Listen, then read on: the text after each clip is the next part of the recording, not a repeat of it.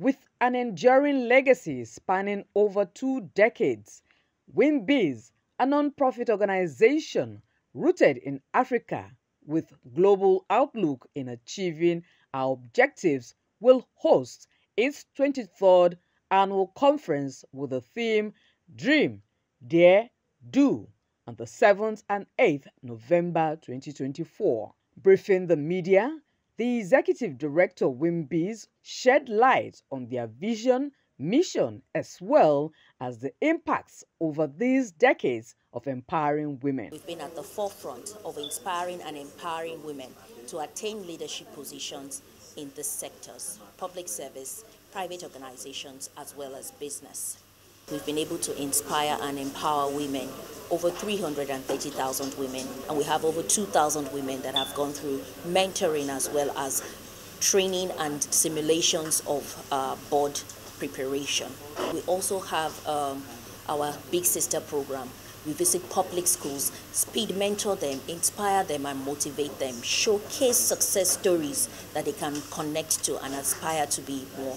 Under that program, we've been able to engage over 8,000 girls. At the heart of everything that we do is advocacy, and we are deliberate about this. We have a scorecard that was developed a couple of years ago, which highlights metrics that organizations can adopt to assess their capabilities when it comes to gender balance as well as the kind of representation that they have for women in leadership positions. At the unveiling of WIMBIZ 2024 annual conference, the chairman conference planning group gave insight into the theme of the event. In these difficult times that a lot of people are experiencing, what would make a woman dream and dare to do?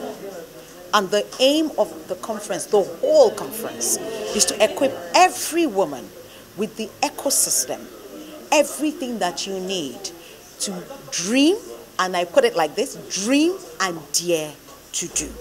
So everything about the conference, from the mindset you need to have to getting your funding, to how to enter new markets, to um, to how to future-proof your business. What does AI have to do with your business? How do you even think through where is your business? As that all those things we put together, so that at the end of the conference, you will have every knowledge, and you know with knowledge comes power.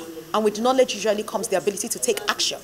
Right. So once you have the knowledge, you actually start to think, okay, I can do this. So by the end of the conference, I can bet, literally take a bet, that anybody that attends that conference will be standing up to say, I can do this.